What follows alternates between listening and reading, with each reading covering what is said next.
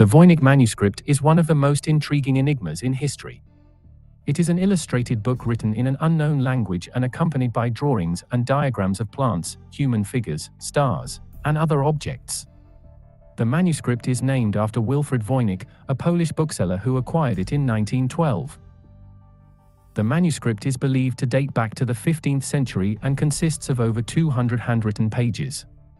Over the years, many cryptographers, linguists, and code experts have attempted to decipher its content, but so far, no one has succeeded in deciphering the language in which it is written.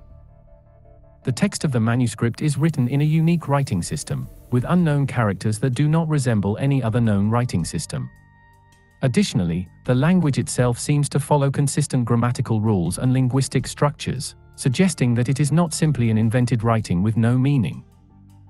The accompanying drawings and diagrams are equally mysterious.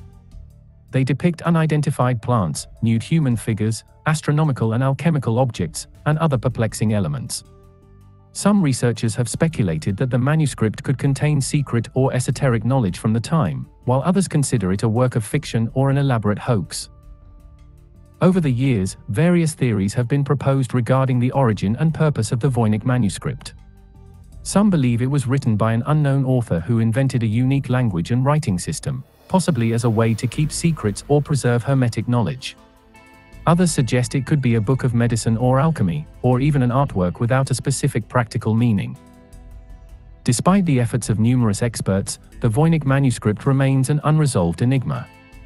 The difficulty in deciphering its content and the lack of clear historical context have made its interpretation extremely challenging. The manuscript continues to be studied and fascinated, and its mystery has generated numerous theories and speculations over the years.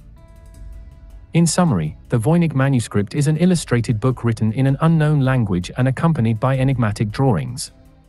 Although it dates back to the 15th century, its content and purpose remain an unsolved mystery. Numerous attempts to decipher it have failed, and the manuscript continues to intrigue researchers and the general public. The Voynich manuscript represents one of the greatest cryptographic and linguistic challenges in history, and its enigma persists to this day.